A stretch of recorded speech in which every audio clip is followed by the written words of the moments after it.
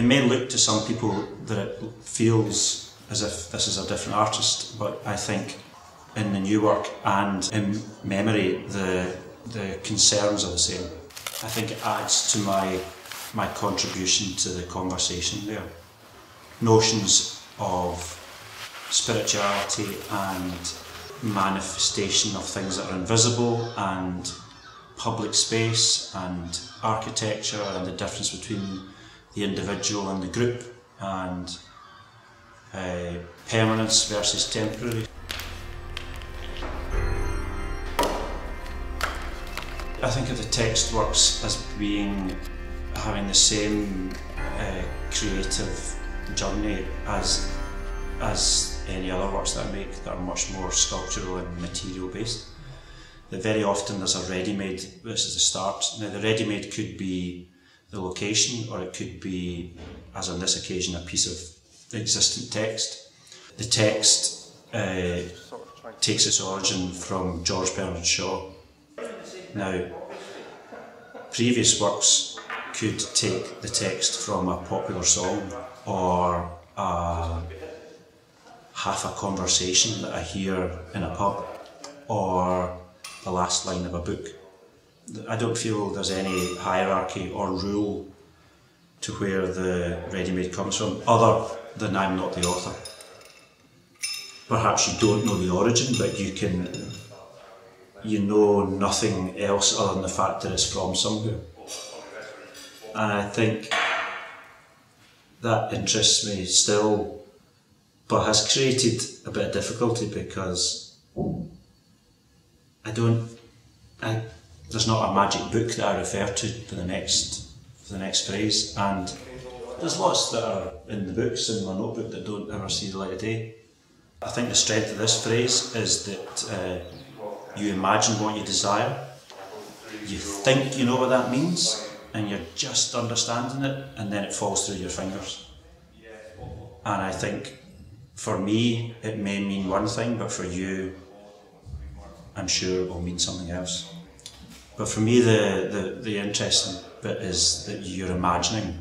I mean, that's, that's a really old, essential kind of discussion about sculpture and art, but I think it's still extremely relevant and extremely interesting.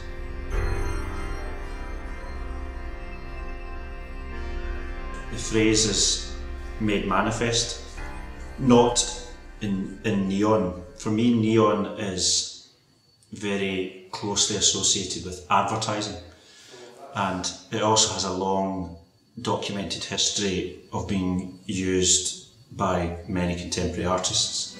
So the language of the of the phrase is more using an aesthetic of the of the fairground, of the circus, which is a little bit more theatrical and arguably is a little bit seedy.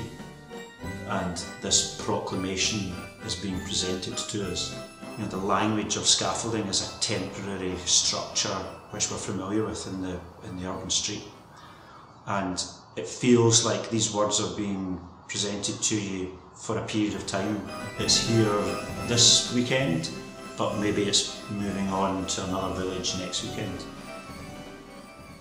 No one should be mistaken by thinking that these are anything other than sculptures and the, the context and the image that the, that the text creates within the landscape or the cityscape is the work. The proximity of the work in the gallery, I think, for me is kind of interesting because I think the proposition with the text is that it's very public.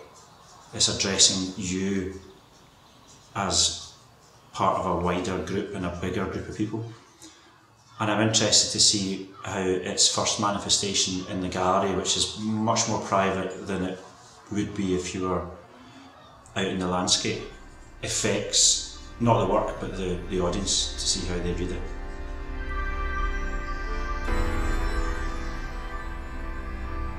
I'm very conscious of this new work sitting alongside the, the, the existing graveyard piece. I'm conscious that I feel that the graveyard's been very successful on a number of levels and I don't want to either change the meaning of that work or replicate it or uh, comment on it. But of course, it's inevitable that this second work within the context of Jupiter is going to be dealt with alongside uh, the other. So for me, that's both uh, exciting and also terrifying at the same time. On this occasion, what we're doing is we're presenting the text in the gallery first. The gallery context is the precursor for something which is yet to come. Locate it as if it's addressing the house. This is the first one we've ever made that's going to be slightly curved, which I think is a, just nicely generous to the audience. It becomes more three dimensional than two dimensional. And I guess that's because the landscape here is quite uh, soft on its edges. The outlook with the house and with the access road just seemed to be the right thing to do. I hope.